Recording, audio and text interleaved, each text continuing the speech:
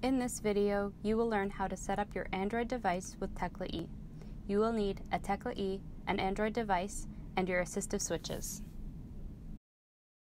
To set up Tekla E with your Android device, first you need to pair your device with the Tekla E via Bluetooth. Go to Settings, Bluetooth, and turn Bluetooth on. The device will start searching for the Tekla E. Turn on your Tekla E by sliding the three-way power switch to the middle position. To put your Tekla E in pairing mode, slide and hold the blue power switch to the bottommost position for 3 seconds, at which point the Tekla E will make a pairing sound. Once your device finds the Tekla E, it will appear in a list as Tekla E followed by a string of characters. Click on this list item to begin pairing. Once Tekla E is paired, you can proceed to the next step. To assign actions to your switches, go to Settings, Accessibility, then find and select Switch Access. Do not turn on Switch Access yet. First click on Settings on the top right corner to open the Switch Access preferences. If you are using a single switch access, select Enable Auto Scan. A time delay option will now be available to set up the scanning rate. The default one is 1 second. Next, go to Assign Keys for scanning and select Auto Scan. When the auto scan pop-up window appears, press the switch that is connected to your Tekla E and click OK.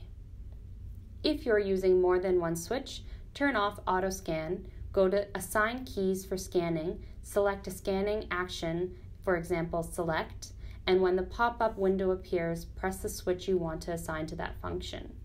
You will need to assign a switch to select and next for step scanning. If you have more than two switches, you can assign other actions to switches under Assign Keys to Action. Before turning switch access on, you need to ensure the on-screen keyboard is shown. For this, go to Settings, Language and Input, select Physical Keyboard, and enable Show Virtual Keyboard. After doing this, you can enable switch access. Go back to Settings, Accessibility, switch access, and activate switch access by clicking the on and off control. At this point, you should be able to control the Android using your switch. For more information, check out the step-by-step user guide available on our support page at gettecla.com. In this video, you learned how to connect your Tekla E to your Android device Set up your switches in Switch Access and ensure the on-screen keyboard is shown. Now you are ready to start using your Android device with your Tekla E.